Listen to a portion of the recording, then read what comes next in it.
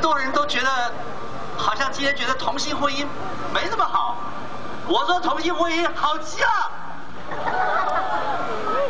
因为啊，第一个，我们同性有同志婚姻，不是只有同志婚姻而已，我们还有艾滋同志婚姻，对不对？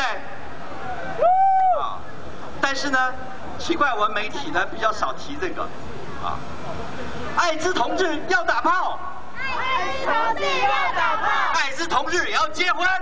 艾滋同志要结婚。对，哎，我们同性婚姻里面有很多各种各样的人。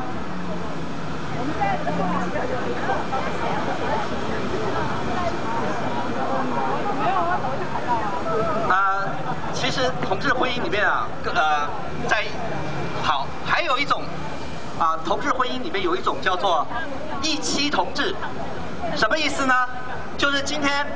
两个同性要结婚，但是他们都是异性恋，听懂吗？